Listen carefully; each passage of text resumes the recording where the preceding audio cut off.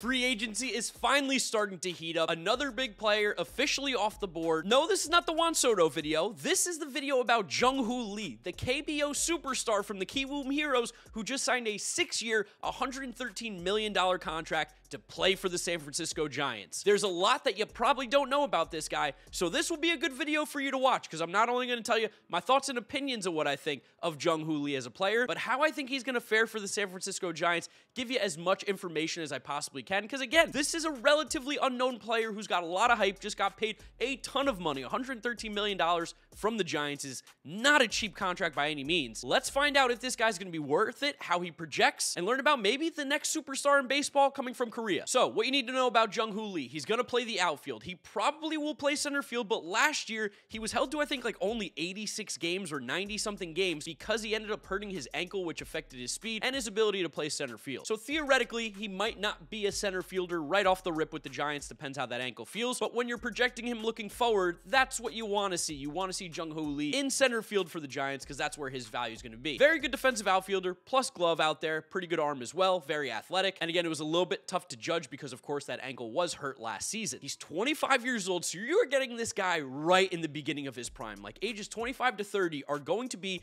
the best years of his career. And for the Giants, giving him that six year contract, you're controlling those best years along with getting the 31 year old season, which is still relatively in their prime. Fun fact about Jung Lee, actually born in Japan, but played for Team Korea in the World Baseball Classic, played in the KBO, and he has been one of the better players in the KBO the last few seasons. Jung Lee kind of broke out as a 21 year old with the Kiwoom Heroes during the COVID year, which a lot of you probably remember because we were all watching the KBO during COVID because it was the only baseball on. I don't know about you, but I was waking up at 5 o'clock in the morning to watch any sort of baseball, and Jung Hoo Lee was one of the guys who stood out for sure. In that COVID season, as a 21 year old, 15 homers, 49 doubles, 5 triples, 101 RBIs with 12 stolen bases, hitting 333 with a 397 on base, 524 slugging, and a 921 OPS. He continued to get better the next two years, by far having the best season of his career in 2022, where he hit 23 homers, 36 doubles, 10 triples, and 113 RBIs, hitting 349 with a 421 on base, 575 slugging, and a 996 OPS. So what does this all mean? Well, in that season, the 23 home runs is by far a career high for Jung Hoo Lee. Besides that, he's only hit double digits home runs once in his career, and that was during the COVID season with 15. So the power is still in question as to how real is it at the major league level. Well, shout out to Eno Sarris. You guys should follow him. Writes for The Athletic. Awesome dude. Like one of the smartest guys in baseball who makes baseball content in terms of writing and podcasts. Looking at what he was able to do in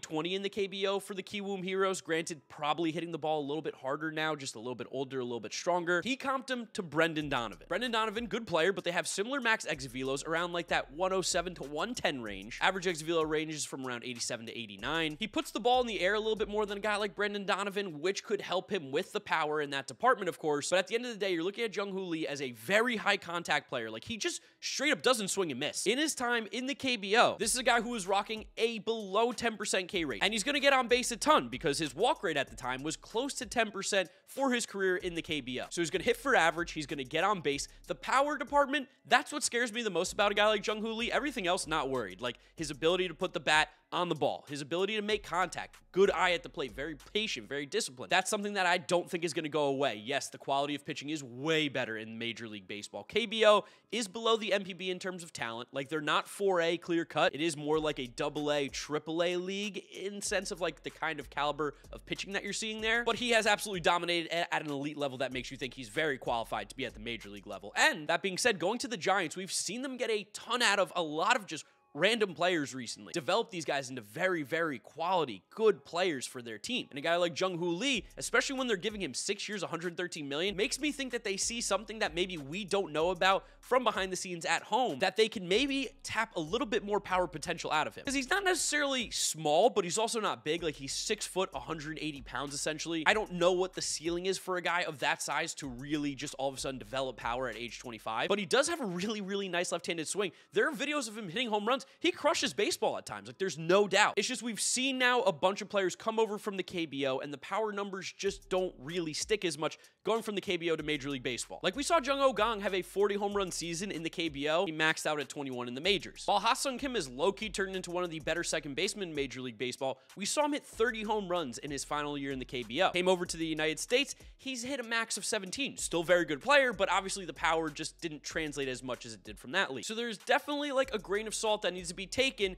with how hype we're going to get on Jung Hoo Lee. Like, do I think he has the ability to be one of the best center fielders in baseball? I'm not going to count him out by any means. That would be stupid because he does a lot of things at an elite level that all he has to do is make some tweaks here and there, and you're looking at a player who could be sick. That being said, it's not that easy. It's not that easy to all of a sudden hit for a ton of power and then not swing and miss and still be as patient as he is. There will be adjustments that have to be made. But honestly, if you're a Giants fan, I would trust that. The Giants have done a really, really good job, as I mentioned earlier, of developing these players and learning their swing paths, learning the pitches to take. I mean, LaMonte Wade puts up like a 120 WRC plus the last two years, a guy that was basically for free from the Minnesota Twins. So if they could do that with a guy like LaMonte Wade, I'm really excited to see what they can do with Jung Hoo Lee, who already is going to be an on-base machine, never going to strike out, and has shown pop in that bat. He looks like more of a gaps hitter, which I love. I think this guy is going to be a very good player. I think he's going to be very capable. Again, anything that you hear on the negative side of me is not trying to be a hater. I'm just trying to temper expectations a little bit because there are a lot of people online. We're gassing this up a little bit more than it should be. He's a very good player. I expect him to be very valuable with this Giants team. I'm just saying, like, expect a gap hitter rather than a guy who's going to hit for a ton of power because